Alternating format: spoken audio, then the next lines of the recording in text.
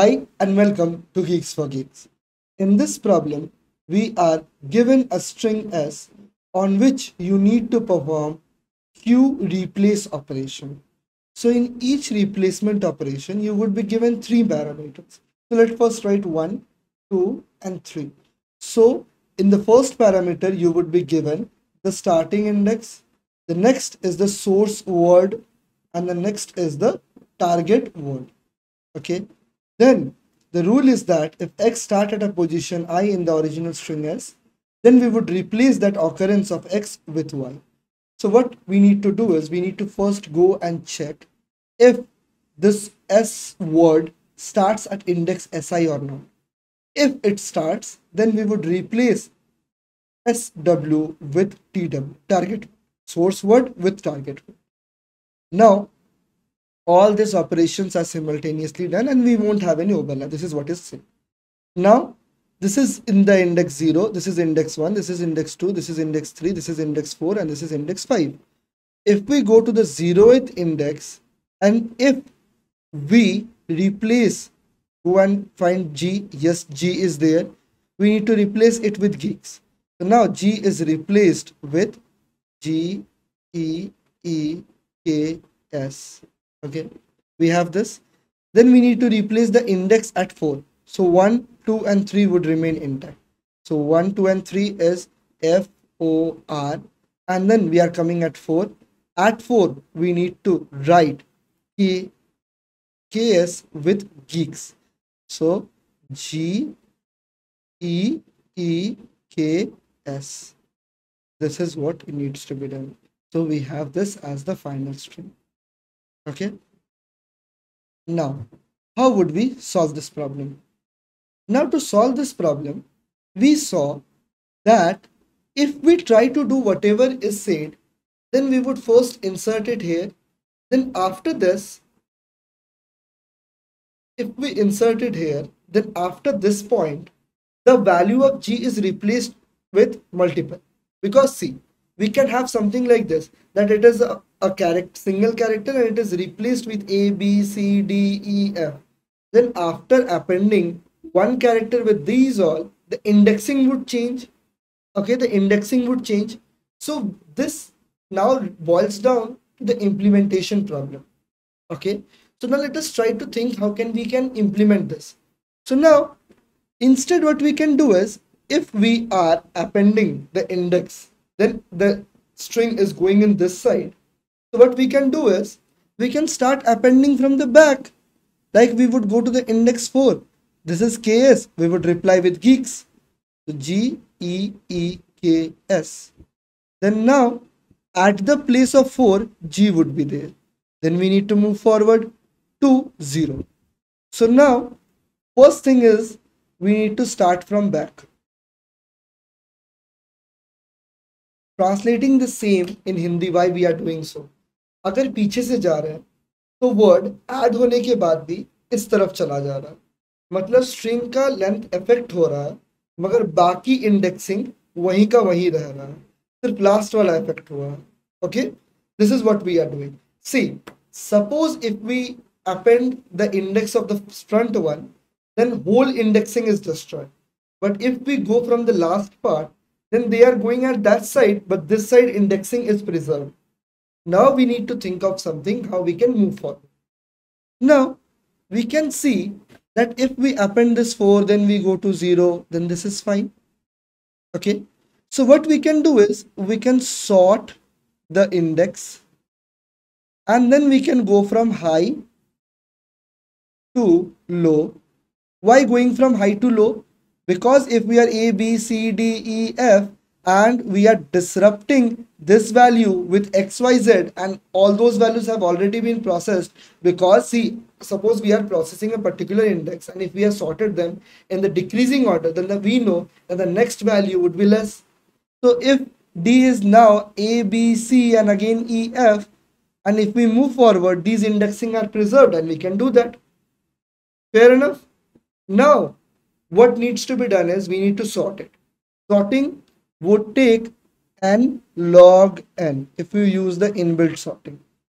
Okay, you can do with r begin r end or you can simply sort it in the default way or use comparators or sort it in default way and then reverse it. Fair enough? This is n log this is one. The next part where the algorithm lies is we would go and replace this with this if we want to replace sources with targets we need to now see the constraints so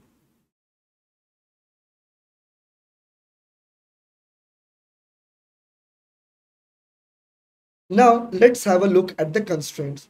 So if we go at the constraints, then we have 10 to the power 4. So even if we do 10 to the power 4 multiplied by q queries, why q queries I would be telling you. Because at each step, we are modifying a string to a large extent. So we can take that and in the worst scenario, we need to modify the whole string. So if we are modifying the whole string, then at max 10 to the power 4 operation can be required and at max 100 queries can be there okay bases are same the powers would get it that is 10 to the power 6 10 to the power 6 is less than 10 to the power 8 and the expected time complexity is also the length of the string multiplied by the number of queries yes this would pass. Okay? So now we can do so. So this is what n into multiplied by q and both is enough to not to avoid TLE. We won't get TLE okay? So now how to do it? Now how to do it? First we need to sort the indexes in the decreasing order.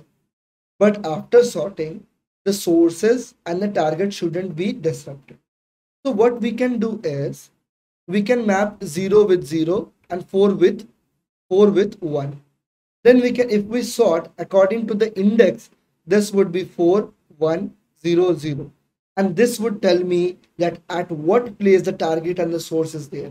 So if we go at 4 yes 4 is there we got the highest value and we can see that at index 1 we have the sources and the target.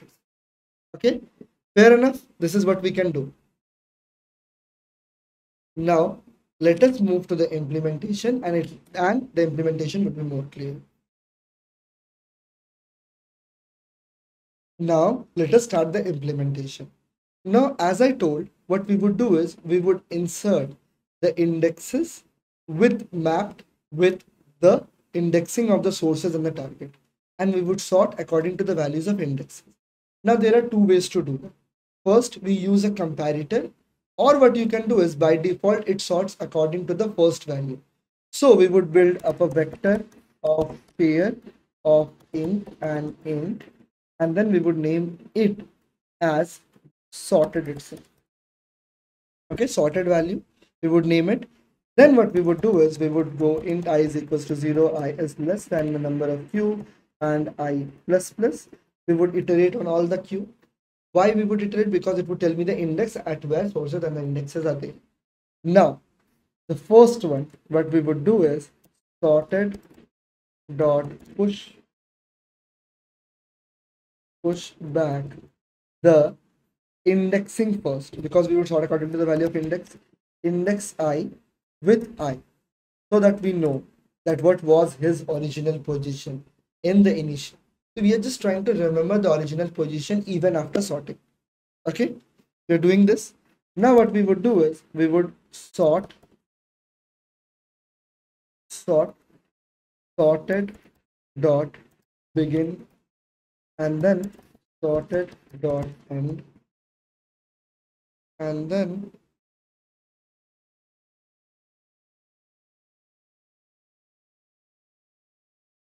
reverse sorted and then we are reversing. Okay? Now there is one more thing we can do and we would discuss it at the very end. Okay? There are actually two things but i would discuss one more. Because the comparator thing is there but it goes on a little bit very lengthy implementation. Okay? Fair enough? So what we would do is for auto ind, first we would go there and we would start with the sorted values. The first value would give me the index, the next value would give me the value of i. So int i is equals to ind dot first. Fair enough? Then we would have string s. Okay, string s. What is string s? We would have the value of the sources and the indexes. Okay, SOR, AS, sources of ind dot second yeah ind dot second and t is equal to s and t. Is equal to what is this value? Target. T of target of ind dot second. Fair enough? Now if s dot sub str we would go and we would go at the particular index and then we would extract the value. First, we would extract the value. Then we would check if it is equal or not. First, let us extract the value int i. We would go to the particular index and how many characters we need to extract? The value of s. s dot size. Fair enough. If it is equal to s, that we have went and extract the number of characters in s in the s and here it's the lower cases if both are equal, that means we have found a match. Now we need to replace. Now, if we need to replace, we can do it in the original string because we know that after this point, the indexing won't. The indexing would remain the same. So we would uh, modify the original string. Then s dot sub str. We would first take the value till i because till this point, the values would remain the same. Fair enough? Then we would move forward and we would take the value of t okay? We would take the target value because we need to replace the s with t. So we are just ignoring the middle part the part we need to modify and before part is directly copied and after part is copied adjacent s dot sub str okay? Sub str and then i i plus s dot length. Or size itself why we are not mentioning the number of characters? Because if the characters is not mentioned it would take the values till the last point itself. Okay? Fair enough? And then we would return the value of and yes now let us check for the sample test cases. And yes we are getting a correct output. Now let us submit this